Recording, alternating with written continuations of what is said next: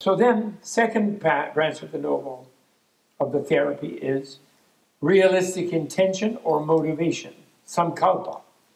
Again, that's again theoretical. It's conceptual.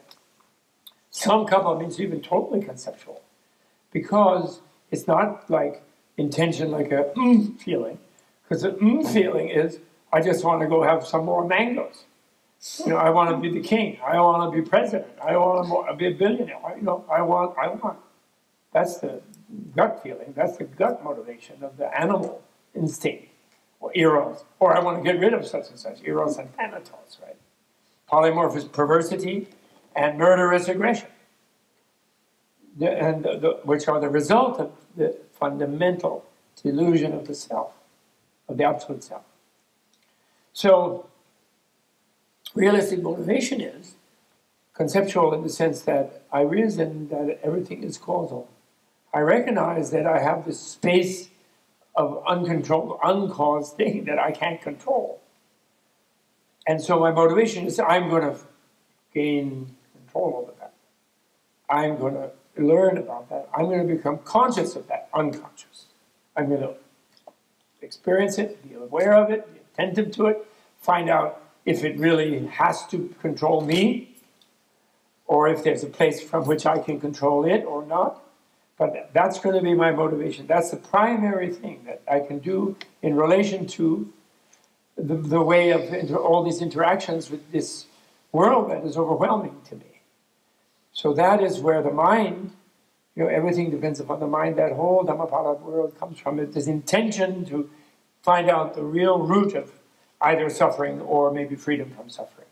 Because, you know, although someone gave you such a prognosis, the doctor, you don't know if it's correct, his analysis yourself right away. And actually, you subliminally don't necessarily think it's that correct. You don't think the way you feel about yourself is a delusion causing your suffering. You don't necessarily think that. But you're sort of taking, well, he's a doctor and I am depressed, anxious, and addicted. So I'm going to maybe, okay, I'll try it out. And you get a motivation, I'm going to try it out. And then the next few things have to do with, well, who are you that you're going to try it out? How, what is your engagement in the causal process?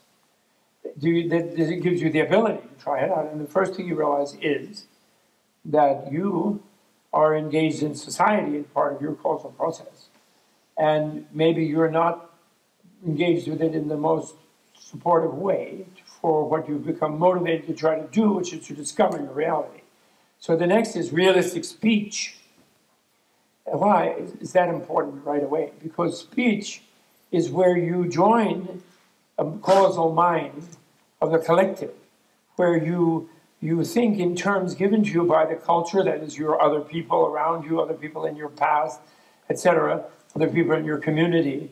And in, even when you're thinking verbally in your own mind, your inner monologue, I love that that's in the description of this, this event that we're doing here together, is that, you know, the, your inner conceptual verbal mind eh, are in using words, as only finally Wittgenstein kind of admitted in philosophy, you're using words that are public. Not they're not somehow you made them up out of yourself. You learn them and they are part of you. So your own inner voice is speaking with a culturally determined, uh, uh, maybe over-determined vocabulary. And so realistic speech means then speech that is beneficial, that produces understanding, produces freedom, not speech that produces domination, harm, aggression, and confirms delusion. So realistic, and then that's elaborated in all kinds of ways, uh, but it's basically not creating disturbance between you and the others uh, through speech, which is your primary way of relating to others in a way, is speech. Then